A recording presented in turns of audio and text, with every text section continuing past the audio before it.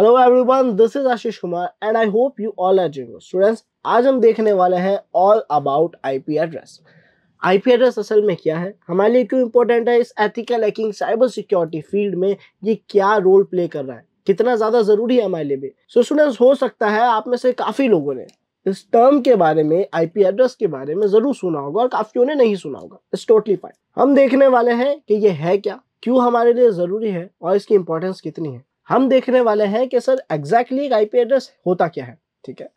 इसके अंदर हमारे पास कुछ कैटेगरीज आती है, जैसे आईपी वी फोर और वी सिक्स या टाइप्स आते हैं। तो ये दोनों में क्या डिफरेंस है? दोनों क्या है? देन हम देखेंगे type of IP addresses IP addresses कितने टाइप्स के होते हैं? उसके बाद सबसे पहले उनमें से जो दो टाइप है पब्लिक और प्राइवेट उनको हम डिफाइन करेंगे। दोनों में क्या डिफरेंस है, क्या चीज़ें कॉमन है और किस तरीके से काम करते हैं।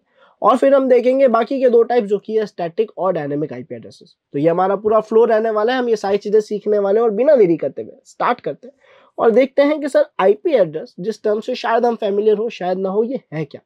पहले इसका फुल फॉर्म देखते हैं स्टूडेंट्स आईपी का फुल फॉर्म है इंटरनेट प्रोटोकॉल एड्रेस और ताकि आप सब लोग अच्छे से समझ जाएँ तो मैंने यहाँ पे एक डेमो आईपी आप कह सकते हैं या फिर आप कह सकते हैं कि रैंडम आईपी एड्रेस लिख दिया है, ठीक है?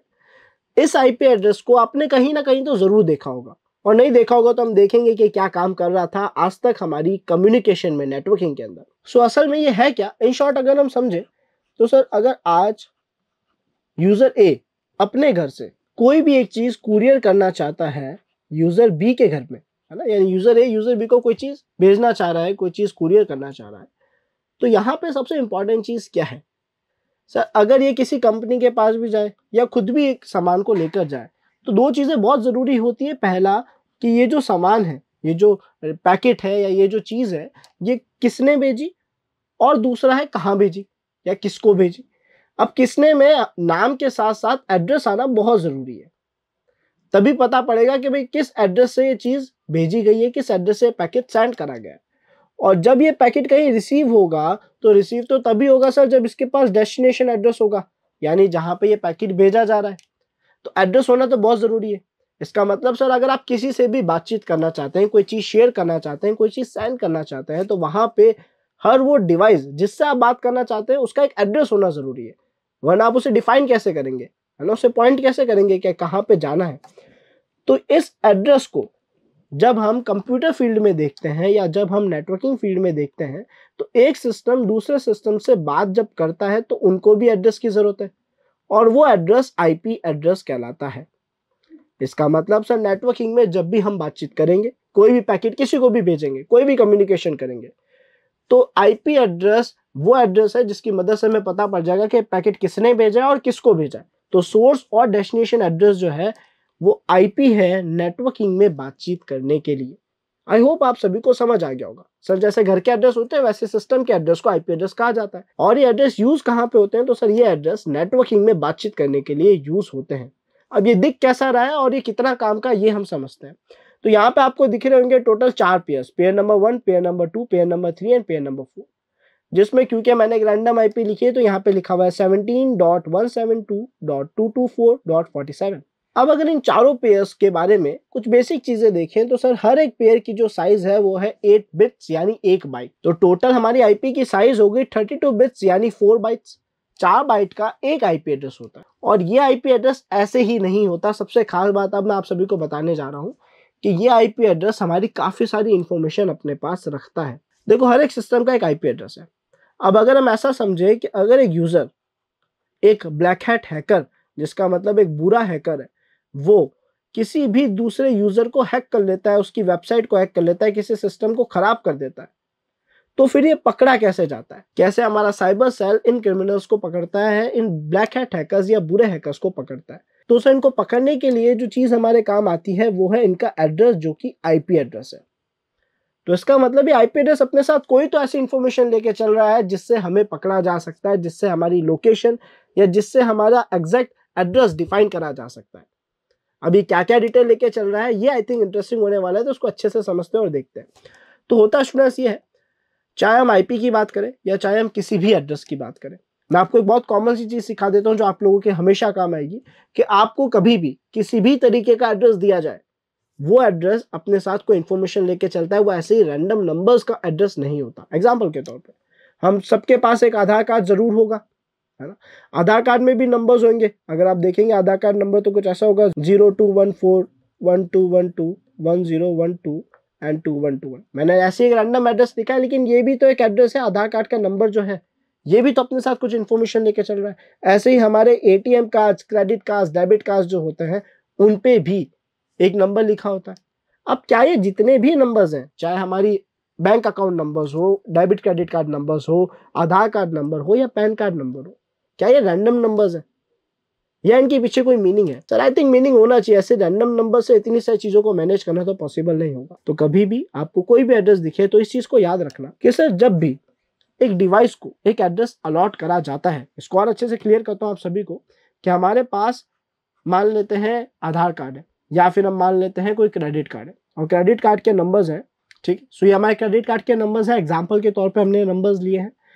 अब क्या ये नंबर्स ऐसे रैंडम नंबर्स है तो नहीं? सर जब भी किसी चीज़ को कोई एड्रेस अलॉट करा जाता है नंबर्स या लेटर्स या अल्फाबेट्स किसी भी फॉर्म में, कोई आइडेंटिटी अलॉट करी जाती है तो ये देखा जाता है कि वो डिवाइस वो पर्टिकुलर चीज़ किस रेंज में काम आने वाली है। तो आज अगर मैं बात करूँ हमारे किसी भी क्रेडिट कार्ड की, है ना? जैसे मान लेते हमने बात करी आईसीआईसीआई के क्रेडिट कार्ड की। तो अब ये जो आईसीआईसीआई का हमारा क्रेडिट कार्ड है पहले हमें इस क्वेश्चन का आंसर ढूंढना होगा कि इसका जो यूज़ है, वो किस रेंज में है। तो मुझे बताओ आईसीआईसी का क्रेडिट कार्ड क्या पूरे वर्ल्ड में यूज़ होता है, या एक कंट्री में यूज़ होता है, या केवल एक स्टेट में यूज़ होता है? सर क्रेडिट कार्ड नॉर्मली देखा जाए तो एक कंट्री के लिए ही बनाए जाते हैं कंट्री के लिए डिफाइन करे जाते हैं इंस्टेड ऑफ़ क्योंकि इंटरनेशनल कार्ड हो, है ना? तो यहाँ पे अब अगर हमें पता है कि इसका यूज़ केवल और केवल इंडिया यानी एक कंट्री के अंदर हो रहा है तो हमारे पास पहले क्वेश्चन का आंसर आ चुका है। अब बस इस एंट्री को, इस एंटिटी को जो हमें पता है कि भाई इंडिया में यूज़ हो रहा है, हमें इसे छोटे छोटे पास में कैटेगराइज करना है। जैसे सबसे पहले अगर मैं इंडिया को डिवाइड करना चाहूँ, जो कि, जिसका मतलब कि सर अगर हम इंडिया को डिवाइड या डिवाइड सही वर्ड नहीं रहेगा, हम कहेंगे कैटेगराइज करना चाहें, इसको कुछ कुछ पार्ट्स में डिफाइन करना चाहें तो कैसे कर सकते हैं? तो सर कंट्री के बाद अगर डिफाइन करा जाता है तो दूसरी एंटिटी हमारे पास हमेशा क्या आती है? स्टेट आती है। इसका मतलब कि सेकेंड एंटिटी से स्टेट हो सकती है। और उसके बाद स्टेट को और छोटा डिफाइन कर दिया जाता है, यानी स्टेट के बाद से सिटी आता होगा। अब इन सारी चीज़ों का रोल क्या है? तो रोल यही है कि पहले देखा जाता है कि कोई भी आइडेंटिटी किस रेंज में यूज़ होगी, फिर उसको कुछ पास में डिवाइड करा जाता है और उसी के बिहाफ पे स्पेशल आईडीज यानी यूनिक आईडीज बनाई जाती है और वो हमें दी जाती है। यानी कि सर, हमारी इस पूरी रेंज में ये जो नंबर्स हमने दिए गए थे, ये जो नंबर्स हमने लिए हैं, हमारे क्रेडिट कार्ड के, इसका जो पहला पेयर है हो सकता है ये पहला पेयर ये बताए कि सर ये कौन से स्टेट के लिए बनाया गया पेयर है? कौन से स्टेट को डिफाइन कर रहा है? तो मान लेते हैं सर ये राजस्थान को डिफाइन कर रहा है। तो अब अगर पहला पेयर राजस्थान को डिफाइन कर रहा है तो सेकंड पेयर किस चीज़ को डिफाइन कर रहा होगा? राजस्थान को अगर हम कुछ पार्ट्स में डिवाइड करने की कोशिश करें या कैटेगराइज करने की कोशिश करें तो क्या बनेगा? एक स्टेट के बाद हमारे पास क्या एंटिटीज आती है? सर सिटीज़ आती है। तो इसका मतलब सेकंड पे ये बता रहा होगा कि कौन सी सिटी के लिए बनाया गया पेयर है है ना? यानी सर ये हमें बता रहा है कि सर ये जयपुर के लिए बनाया गया पेयर है। अब जब हमें स्टेट और सिटी पता पड़ चुका है तो थर्ड पेयर नॉर्मली क्या बताएगा?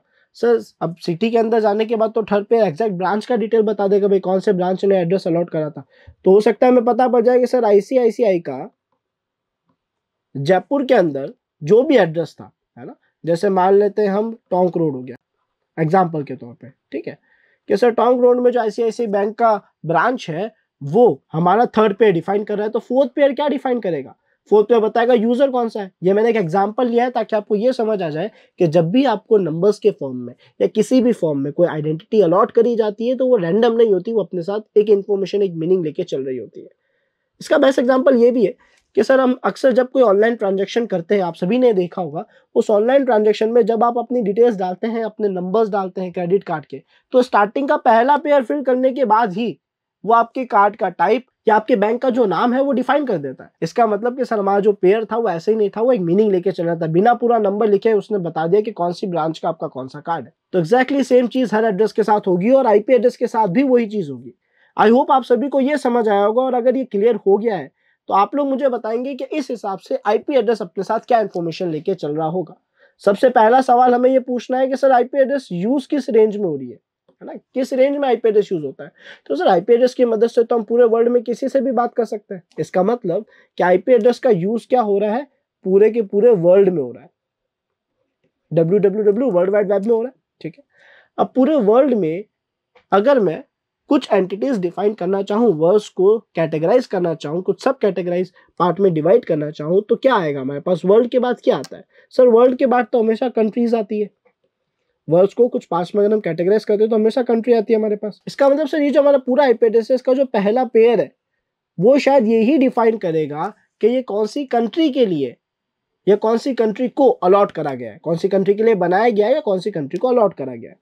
तो एग्ज़ाम्पल के तौर पर मान लेते हैं कि सर ये इंडिया को अलॉट करा गया आईपी एड्रेस है इस हिसाब से कंट्री के बाद अगर मैं उसको कुछ सब कैटेगरीज में डिवाइड करना चाहूँ तो सेकेंड कैटेगरी क्या होगी? Very good. सेकेंड कैटेगरी होगी सर स्टेट। और स्टेट को कुछ कैटेगरीज में डिवाइड करना चाहूँ तो तो सर वैसे तो हमारे पास सिटी आता है, लेकिन केवल सिटी की इन्फॉर्मेशन थर्ड पे लेके नहीं चलेगा। यानी पहले पेयर ने बताया कि इंडिया की आईपी दूसरे पेयर ने बताया स्टेट जैसे कि राजस्थान कह सकते हैं कि राजस्थान को ये एड्रेस अलॉट करा गया था। थर्ड पेयर वैसे तो सिटी बताना चाहिए सर, लेकिन केवल सिटी नहीं बताएगा। जिस तरीके से हमारे क्रेडिट कार्ड का जो थर्ड पेयर था, वो बैंक का नाम और उसका एड्रेस बता रहा था। वैसे ही ये हमारे पास सिटी के साथ साथ एक एड्रेस और बताएगा, एक और इन्फॉर्मेशन देगा, वो है आईएसपी की। एग्ज़ाम्पल के तौर पे कि सर ये बताएगा कि जयपुर में जो जियो का ऑफ़िस है, उसको हमने ये आईपी एड्रेस अलॉट करा था। इसका मतलब थर्ड पेयर ने क्या बता दिया? सिटी प्लस हमारा आईएसपी का नाम।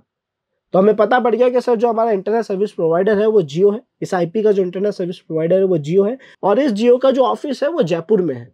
तो अब अगर हमें कुछ भी इंफॉर्मेशन लेनी है तो हम जयपुर के जियो ऑफ़िस के पास जाएँगे और बात आएगी कि सर फोर्थ पेयर अपने साथ क्या इन्फॉर्मेशन लेके चल रहा है। तो फोर्थ पेयर अपने साथ इन्फॉर्मेशन लेके चलता है डिवाइस की। यानी सर डिवाइस आईडी जिस डिवाइस को या आईपी एड्रेस अलॉट करा गया था, उसकी इन्फॉर्मेशन उसकी सारी डेटा जो है, वो फोर्थ पेयर अपने पास लेकर चलता है। तो अगर कोई भी यूज़र का आईपी एड्रेस आपको मिलता है तो उसको ट्रैक कैसे करा जाता है?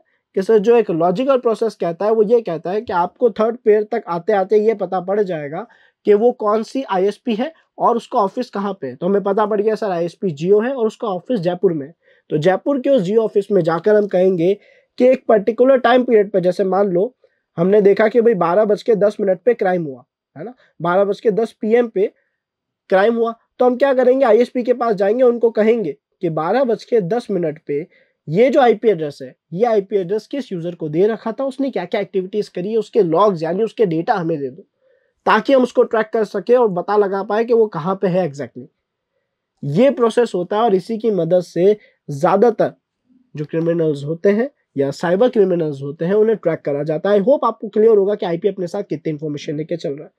आईपी में एक बात और खास है, वो ये है कि सर जो आईपी के पेयर्स हैं, ये कितने होंगे? ये जो नंबर्स है कुछ भी आ सकते हैं यहाँ पे नहीं। केवल ज़ीरो से लेकर टू फाइव फाइव की रेंज के अंदर ही आईपी एड्रेसेस बनाए जाते हैं और यूज़ लिए जाते हैं, ये इनकी लिमिटेशन है। आई होप आप सभी को आईपी के बारे में इतना तो क्लियर होगा। अब सर आईपी में हमारे पास दो टाइप्स है आईपी के, एक आईपी फोर और आईपी वी सिक्स क्यों इन आईपीएस की ज़रूरत है? वी सिक्स क्या है? क्या दोनों में डिफरेंस है समझते हैं? सबसे पहले हमारे पास हुआ ये कि आईपी वी फोर को इंट्रोड्यूस करा गया। वी फोर का मतलब है वर्जन फोर वी फोर को इंट्रोड्यूस करने से क्या हुआ? कि सर इसके अंदर जो एक आईपी का एड्रेस होता था टोटल थर्टी टू बिट होता था, ठीक है? इसका जो एड्रेस का फॉर्मेट है, वो डॉटेड डेक्सिमल नोटेशन होता था, यानी आप देख सकते हो हर एक पेयर के बाद डॉट के ज़रिए उसको डिफाइन करा जा रहा है। टोटल चार पेयर हैं इसके अंदर हमारे पास। इसमें सर हमें एक चीज़ का ध्यान रखना चाहता था कि ज़ीरो से टू फाइव फाइव की रेंज के अंदर का ही आईपी एड्रेस हो सकता है। इसकी जो प्रीफिक्स नोटेशन यानी जो उसकी स्टार्टिंग हुआ करती थी लिखने की, वो होती थी one nine two one six eight और उसके बाद ज़ीरो ज़ीरो जो होस्ट है उसको डिफाइन करा जाता था, यानी यहाँ पे अलग अलग नंबर आ सकते हैं। अब यहाँ पे जो ध्यान देने लायक पॉइंट है वो ये है कि सर IPv4 के ज़रिए, हमें पता है ज़ीरो से टू फाइव फाइव के अंदर के नंबर्स हम यूज़ ले सकते हैं और हमारे पास चार पेयर है। अब अगर आप इनके कॉम्बिनेशन देखें, है कि हमारे पास कितने आईपी एड्रेसेस हैं यूज़ करने के लिए, किसी को भी नेटवर्किंग में बातचीत करनी है तो आईपी एड्रेस तो उसके पास होना पड़ेगा। तो यहाँ पे यह हमें बताता है कि टू की पावर थर्टी टू यानी four point seven billion addresses IPv4 आपको दे सकता है। इसका मतलब 4.7 बिलियन लोग एक ही टाइम पे इंटरनेट एक्सेस कर सकते हैं। इतने आईपी एड्रेसेस हमारे पास है। लेकिन अगर आप आज का डेटा देखें, मैं चाहूँगा आप सब लोग सर्च करें और ये देखें कि आज के टाइम पे इंटरनेट पे एक्टिव यूज़र्स कितने हैं। चलो हम एक काम करते हैं, हम साथ में सर्च करते हैं। तो हम चलेंगे अपने ब्राउज़र पे और वहाँ पे जाके देखेंगे। Active internet users in world. तो यहाँ पे आप ये फिगर देख सकते हो जो कि कह रहा है 5.3 बिलियन इंटरनेट पे यूज़र्स आज के टाइम पे एक्टिव हैं। और ये हमें जो पेयर दे रहा है वो 4.7 है। तो इसका मतलब इंटरनेट पे यूज़र्स ज़्यादा है और आईपी एड्रेसेस कम है। दो इसके भी कुछ तरीके हैं जिसकी मदद से ये आज तक मैनेज हो रहा था, वो क्या है, मैं आपको अभी समझाने वाला हूँ। टाइप ऑफ़ आईपी एड्रेस में बहुत अच्छे से देखेंगे। लेकिन आईपी एड्रेस के कॉम्बिनेशन तो कम है ना यूज़र्स के हिसाब से। तो इसीलिए IPv6 को इंट्रोड्यूस करा गया ताकि हर कोई इंटरनेट बहुत अच्छे से एक्सेस कर सके। IPv6 और कुछ नहीं है, क्योंकि आईपी एड्रेस के पास जो पेयर्स थे वो कम पड़ रहे थे इंटरनेट पे यूज़र्स बढ़ चुके हैं डिजिटल इंडिया हो चुका है और पूरे वर्ल्ड में इंटरनेट पे यूज़र्स बढ़ते जा रहे हैं। उस वजह से हमें और आईपीस की ज़रूरत है और और आईपी हमें मिल रही है IPv6 की मदद से। तो IPv6 में क्या हुआ कि सर IPv6 की जो साइज़ है, जो IPv4 का अपडेटेड वर्जन है, ताकि ज़्यादा आईपी एड्रेसेस अलॉट करे जा सके उसकी साइज़ है 128 बिट जो कि 32 बिट से बहुत ज़्यादा है।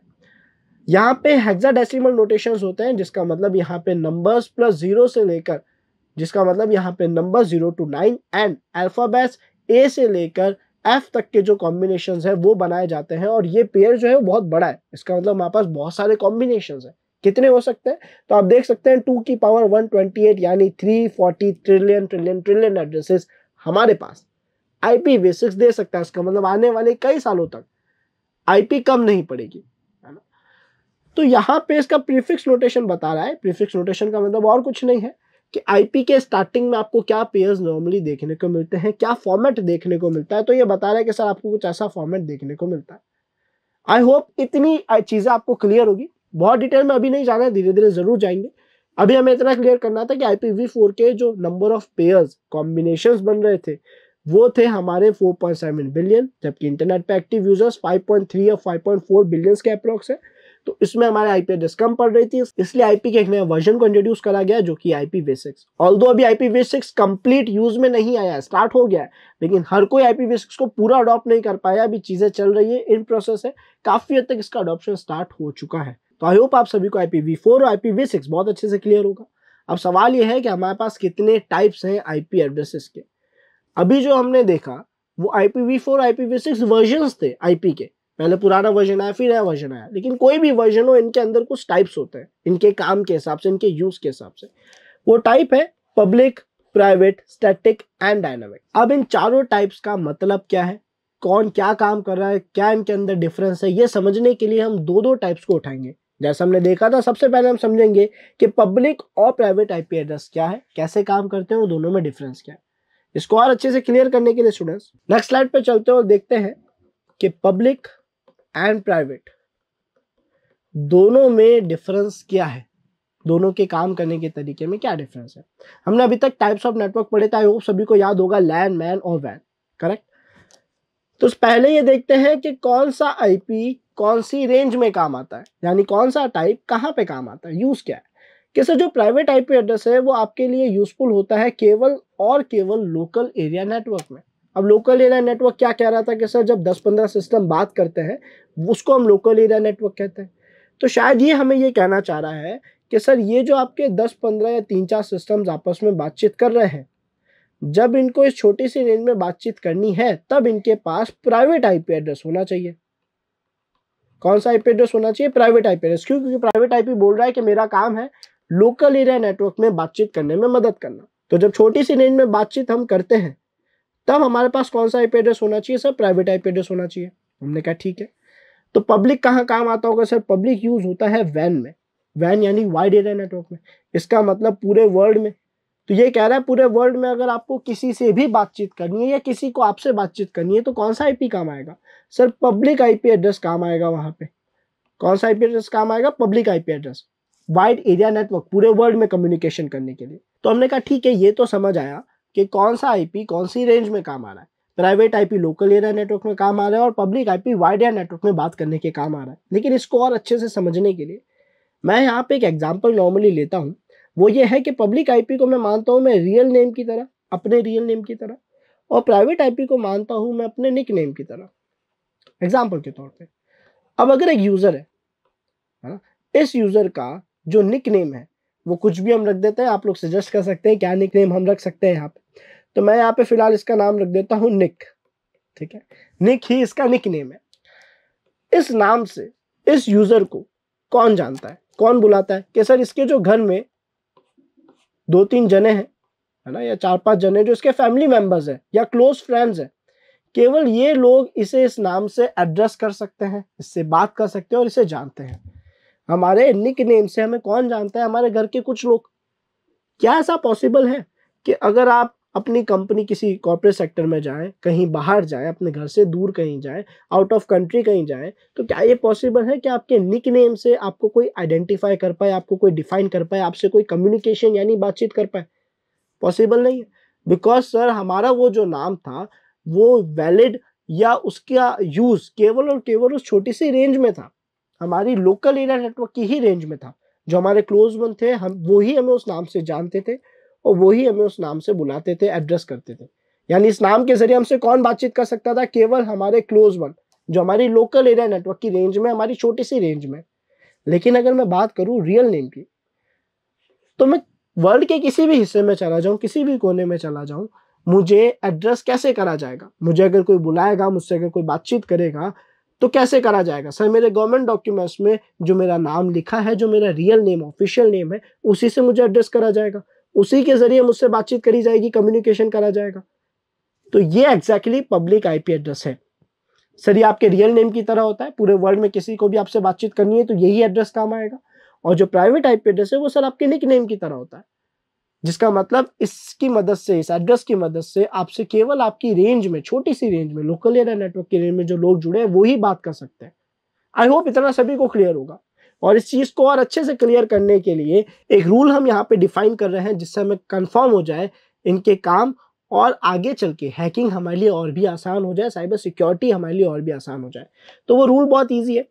पहला रूल कहता है कि सर एक प्राइवेट आईपी कभी भी पब्लिक आईपी से डायरेक्ट कम्युनिकेशन नहीं कर सकती एक प्राइवेट आईपी अपनी रेंज के बाहर बात कर सकती है बिल्कुल नहीं कर सकती तो प्राइवेट आईपी की रेंज लोकल एरिया नेटवर्क है और पब्लिक आईपी की रेंज वाइड एरिया नेटवर्क है पहला रूल तो यही है कि प्राइवेट आईपी पब्लिक आईपी से डायरेक्ट बात नहीं कर सकती और पब्लिक आईपी प्राइवेट आईपी से डायरेक्ट बात नहीं कर सकती यानी दोनों आपस में डायरेक्ट कम्युनिकेशन नहीं कर सकते तो सर क्या करेंगे प्राइवेट आईपी केवल और केवल बात कर सकती है प्राइवेट आईपी एड्रेस से बट यहाँ पे सेकेंड रूल आता है, जो कहता है कि रेंज जो है वो सेम होनी चाहिए।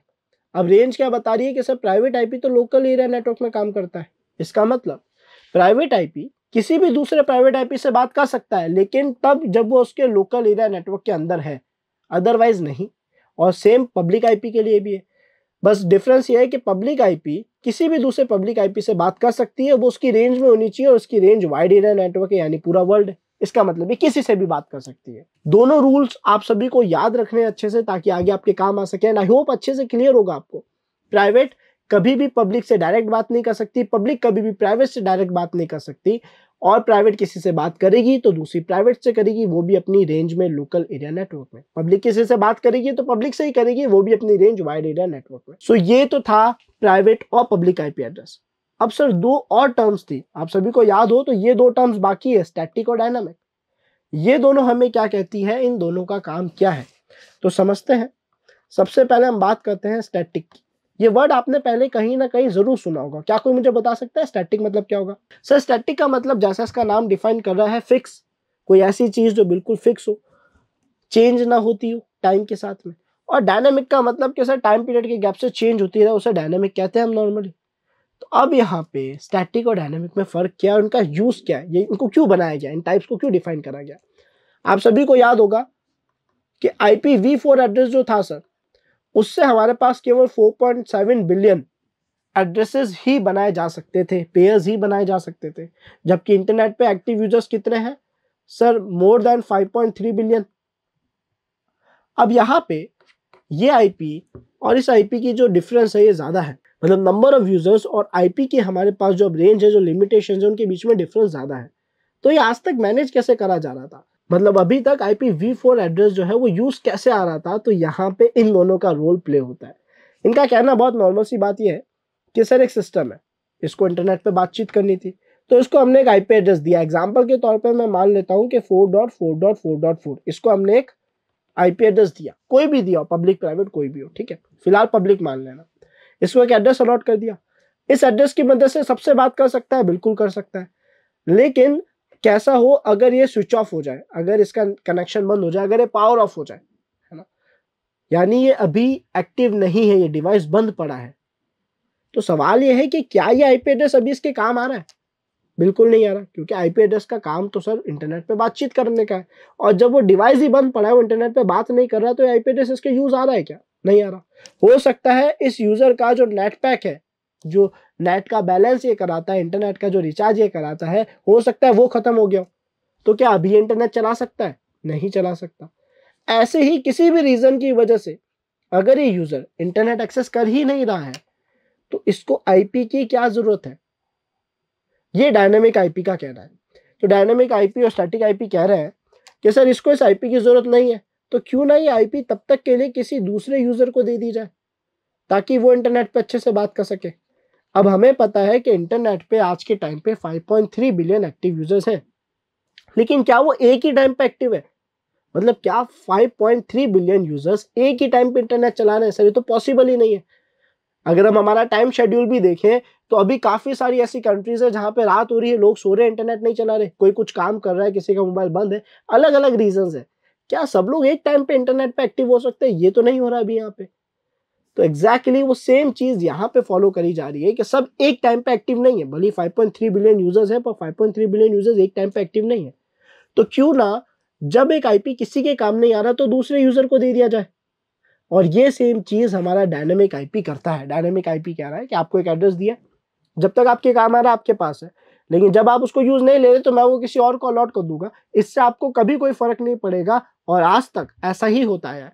इसका मतलब कि सर, हम हमारे मोबाइल में, हमारे कंप्यूटर में, जो भी नेट चला रहे हैं, हम सबके पास कौन सा आईपी एड्रेस है? हम सबके पास है डायनामिक आईपी एड्रेस अब ये बात हम क्या चेक कर सकते हैं, क्या ये चीज़ कंफर्म कर सकते हैं? तो एक छोटा सा एक्सपेरिमेंट करते हैं इसके लिए। हम क्या करेंगे? सर, हम सब अपने अपने सिस्टम से, अपने ब्राउज़र पे जाएँगे। एक्सपेरिमेंट आप सभी को ट्राई करना और मुझे कमेंट सेशन में बताना है कि क्या आपके पास स्टैटिक आईपी एड्रेस था या डायनामिक था। एक्सपेरिमेंट क्या है, मैं बता देता हूँ।